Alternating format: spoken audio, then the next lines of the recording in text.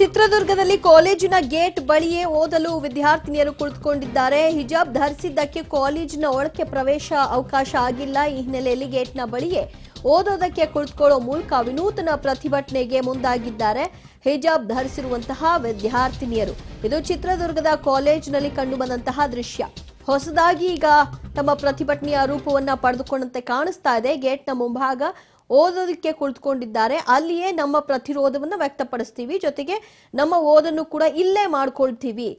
ನಮ್ಮ ಒಂದು ಶಿಕ್ಷಣದ ಹಕ್ಕನ್ನ ಕಸ್ಕೊಳ್ಬೇಡಿ. ನಮ್ಗೆ ಅವಕಾಶ ಮಾಡಿಕೊಡಿ. ಹಿಜಾಬ್ ಹಾಕಿದ್ರೆ ಏನು ಸಮಸ್ಯೆ ಅಂತ ಎಲ್ಲ ಕಡೆಯಲ್ಲೂ ಕೂಡ ಪ್ರಶ್ನೆ ಮಾಡ್ತಾ ಇದ್ದಾರೆ. ಈ ಮಧ್ಯೆ ಅವಕಾಶ ಕೊಡಲಿಲ್ಲ ಅನ್ನೋ ಕಾರಣಕ್ಕೆ ಗೇಟಿನ ಬಳಿಯೇ ಕುಳಿತುಕೊಳ್ಳುವ ಮೂಲಕ ವಿದ್ಯಾರ್ಥಿನಿಯರು ಓದಲು ಆರಂಭ ಮಾಡಿದ್ದಾರೆ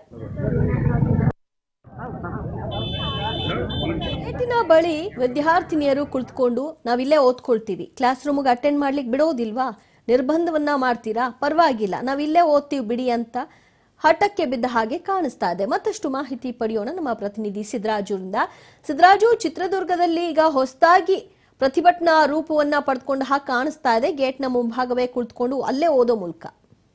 ಖಂಡಿತವಾಗೂ ದಿವ್ಯ ಜೊತೆ ಎಲ್ಲ ಒಂದ್ ಕಡೆ ಏನು ವಿದ್ಯಾರ್ಥಿನಿಯರ ಒಂದು ಆಕ್ರೋಶ ಮುಗಿಲು ಮುಟ್ತಿದೆ ಅಂತ ಹೇಳ್ಬೋದು. ಯಾಕಂದ್ರೆ ನಿನ್ನೆ ಕೂಡ ಒಂದು ಪ್ರತಿಭಟನೆ ನಡೆಸಿದ್ರು. ಜಿಲ್ಲಾಧಿಕಾರಿ ಕವಿತಾ ಅವ್ರನ್ನ ಭೇಟಿ ಮಾಡಿ ಎಲ್ಲ ಒಂದ್ ಕಡೆ ಅವರ ಒಂದು ಅಳಲನ್ನ ತೋಡ್ಕೊಂಡಿದ್ರು. ಜಿಲ್ಲಾಧಿಕಾರಿಗಳು ಕೂಡ ನಾವೆಲ್ಲ ಭಾರತೀಯರು.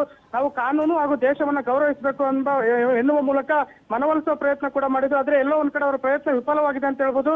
ಎರಡನೇ ದಿನವಾದ ಇಂದು ಸಹ ವಿದ್ಯಾರ್ಥಿನಿಯರ ಪ್ರತಿಭಟನೆ ಮುಂದುವರೆದಿದೆ. ಏನು ಸರ್ಕಾರಿ ಬಾಲಕಿಯರ ಪದವಿ ಪೂರ್ವ ಕಾಲೇಜಿನ ಮುಂಭಾಗದಲ್ಲಿ, ಗೇಟ್ನ ಮುಂಭಾಗದಲ್ಲೇ ಒಂದು ಪುಸ್ತಕವನ್ನು ಹಿಡಿದು ಬೀದಿಯಲ್ಲೇ ಓದುವ ಮೂಲಕ ವಿನೂತನವಾಗಿ ಪ್ರತಿಭಟನೆಗೆ ಇಲ್ಲಿನ ವಿದ್ಯಾರ್ಥಿಗಳು ಕುಳಿತಿದ್ದಾರೆ. ಏನು ಪೊಲೀಸರು ಹಾಗೂ ಇಲ್ಲಿನ ಸಿಬ್ಬಂದಿಗಳೊಂದಿಗೆ ವಾಗ್ವಾದಕ್ಕೂ ಕೂಡ ಇಳಿದಿದ್ದಾರೆ. ಆದಷ್ಟು ಪೊಲೀಸರು ಹಾಗೂ ಸಿಬ್ಬಂದಿಗಳು ವಿದ್ಯಾರ್ಥಿನಿಯರ ಮನವೊಲಿಸಲು ಪ್ರಯತ್ನಿಸ್ತಾರೆ. ಆದ್ರೆ ಅವರ ಮಾತಿಗೆ ಸೊಪ್ಪು ಆಗ್ತಿಲ್ಲ. ಅದೇ ರೀತಿ ಇಸ್ಲಾಂ ಧರ್ಮದ ಕೆಲವು ಮುಖಂಡರು ಕೂಡ ಅವರ ವಿದ್ಯಾರ್ಥಿನಿಯರಿಗೆ ಕೈ ಜೋಡಿಸಿದ್ದು.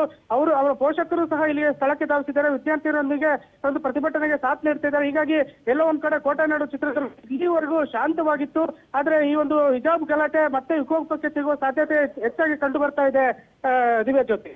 ಥ್ಯಾಂಕ್ ಯು ಸಿದ್ದರಾಜು ನಿಮ್ಮೆಲ್ಲ ಮಾಹಿತಿಗೆ.